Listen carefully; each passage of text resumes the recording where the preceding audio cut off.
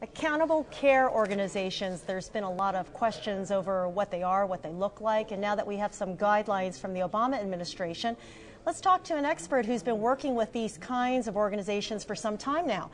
That's Dr. Jeffrey Kang, who is Chief Medical Officer over at Cigna.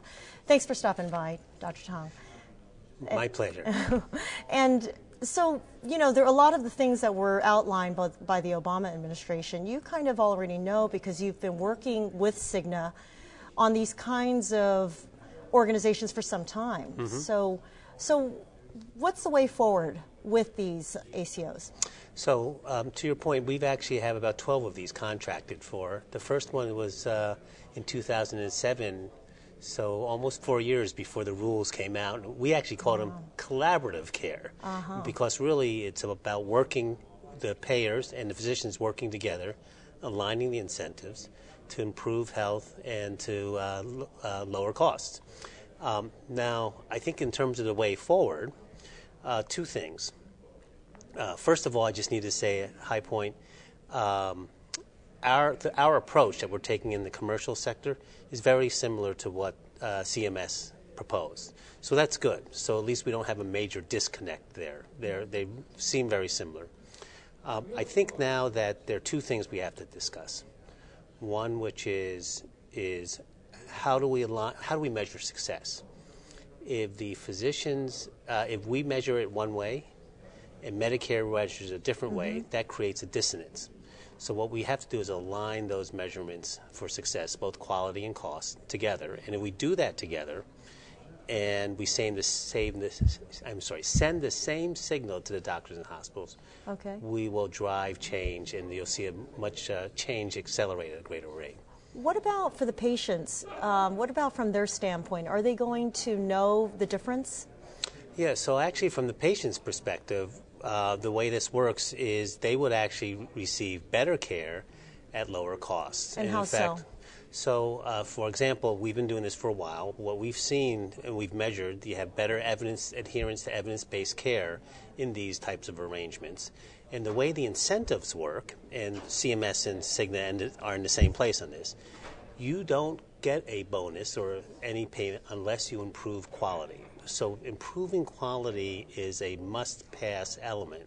Hmm. And so no matter how much money you save, unless you improve quality, you don't get any of the share of those savings. Well, how do you measure quality? Okay, so that gets to my previous my previous comment is actually how are we going to measure that quality? So broadly speaking, two things. One is the adherence to these evidence-based measures, everything that doctors can agree to, but second really is patient satisfaction.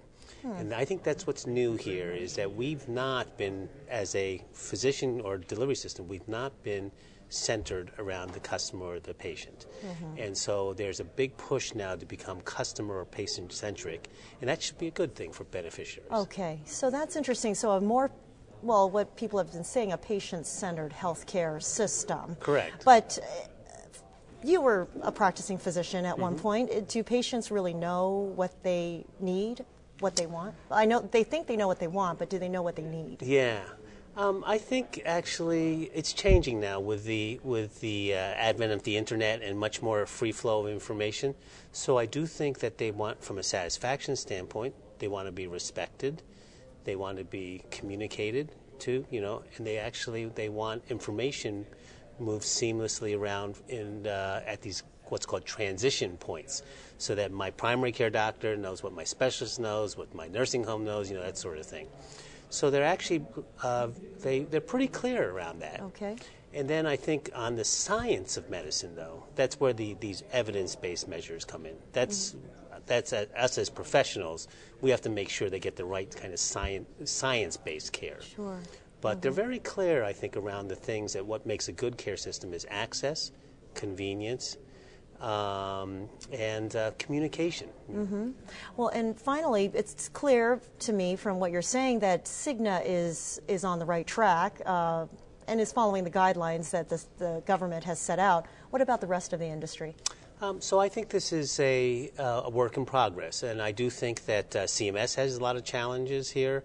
Uh, the commercial sector has a lot of challenges. Uh, don't forget, we're we're trying we're talking about an industry a delivery system that's been uh, practicing this way in the fee-for-service model um, for the last, you know, for decades. Yes. And what we're trying to do is change the incentives to to focus more on health and wellness. The previous system, or the current system, really, is focused on disease, right? Let people get sick, and then we'll cure you.